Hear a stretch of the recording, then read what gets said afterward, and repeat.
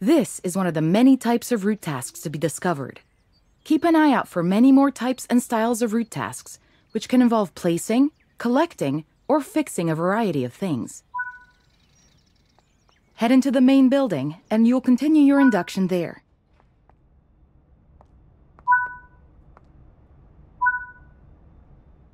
You can pause Train Sim World at any point to review objectives and a lot of other information about what's happening at the moment. Try it now, and then return to the game after you... Now that we've covered some of the basics of moving around and interacting with the environment, let's take a walk through the building and... This is Central Square. From here, you can explore the main train... Your journey operating trains is just getting started here in the training center. Remember, you can always come back.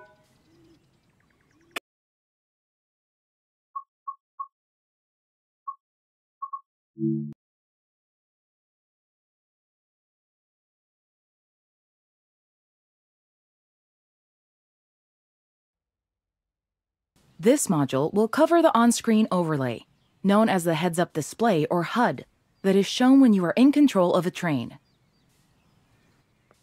Climb up the ladder into the locomotive and then sit in the seat.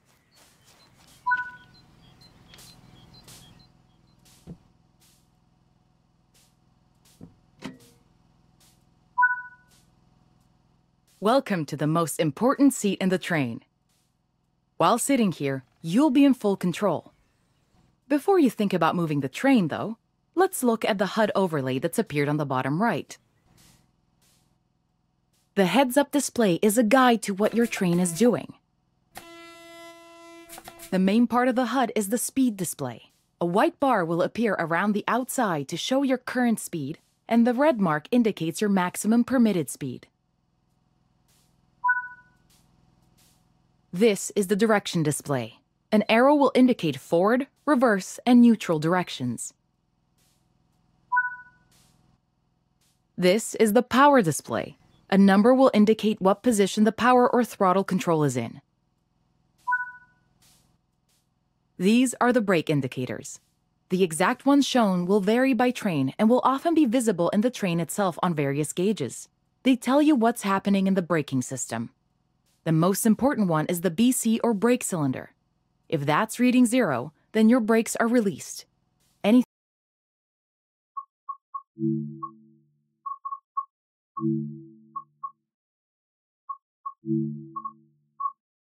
Anything else?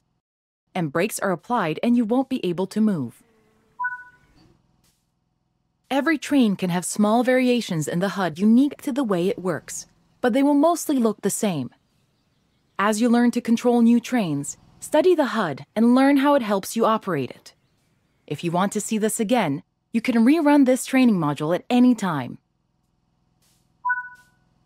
This training module, you're going to look at making the train move and then bringing it to a stop again. While many trains have different controls and are operated in different ways, there are basically always three controls that are common and are required to move the train. The reverser sets the direction between forwards and backwards. The brakes are used to slow or stop the train. The throttle controls how fast the train accelerates. Keep the brake control and release until you can see the brake pipe control needles are reading 5 bar, pointing upwards. This will release the brakes fully.